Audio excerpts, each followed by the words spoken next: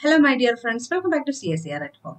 In this video we can discuss the MCQs related to history and scope of microbiology. Question, okay. Who developed rabies vaccine? Answer is Pasteur, Louis Pasteur.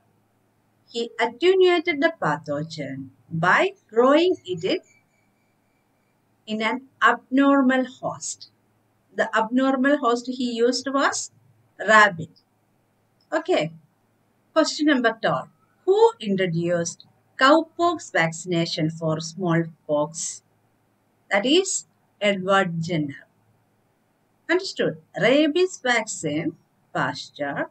Cowpox vaccination for smallpox, Edward Jenner. Question number 13. Who discovered Plasmodium, the cause of malaria? That is by Laveran. Charles Louis Alphonse Laveran discovered Plasmodium, the causative agent of malaria. Okay. Charles Louis Alphonse Laveran. Question number 14. Who developed anthrax vaccine? That is by Pasteur. Here, the vaccine vacca means cow. Okay, that you, you have to remember that. Okay, vaccine, the word vaccine vacca means cow. Who discovered Escherichia coli? That we have studied. Escherichia coli is an indicator for water pollution. Okay, it's an indicator organism, Escherichia coli. Who discovered Escherichia? Okay, Escherich discovered the Escherichia coli. Question number 16. Who developed Petri dish? You know what is meant by Petri dish? Okay, it's a container for holding the culture media. Okay. Who developed?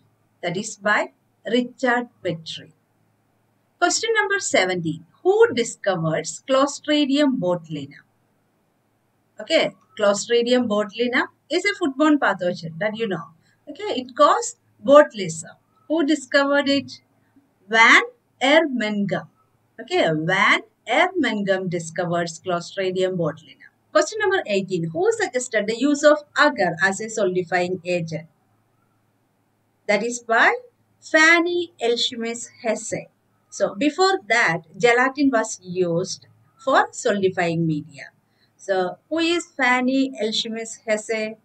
So, she suggested the use of agar as a solidifying agent. And she suggested to her husband. Her husband was an associate of Robert Koch. Okay. So, Fanny Eilshemius Hesse uh, suggested the use of agar as solidifying agent for culture media preparation.